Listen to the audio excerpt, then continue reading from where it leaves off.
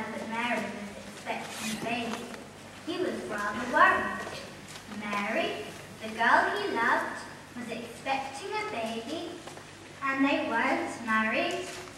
The gossip had started already. Perhaps he would have to break off the engagement. However, during a dream, he was visited by God's messenger angel, Gabriel. Don't break off your engagement, the angel said. She has done nothing wrong. God has chosen her to be the mother of his son, the promised king. You are to call the baby Jesus, the Savior, because he is going to save his people from their sins. When Joseph awoke, he was relieved and very happy. He would marry Mary and take care of her and the baby.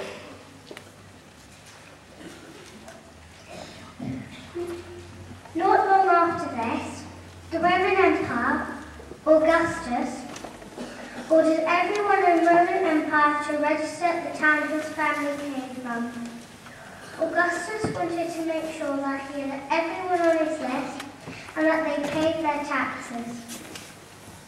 Joseph was from Bethlehem, so he and Mary had to take the long journey there. A donkey carried their food, warm blankets for the chilly nights, and clothes for the baby who was due to be born any day. When they finally arrived, Mary was very tired.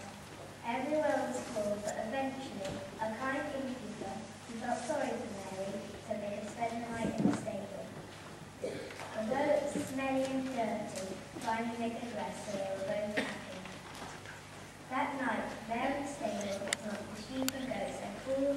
Mary, Mary very special baby was born.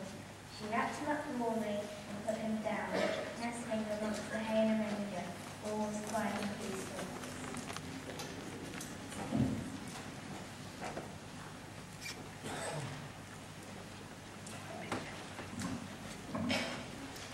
Donkey, anonymous.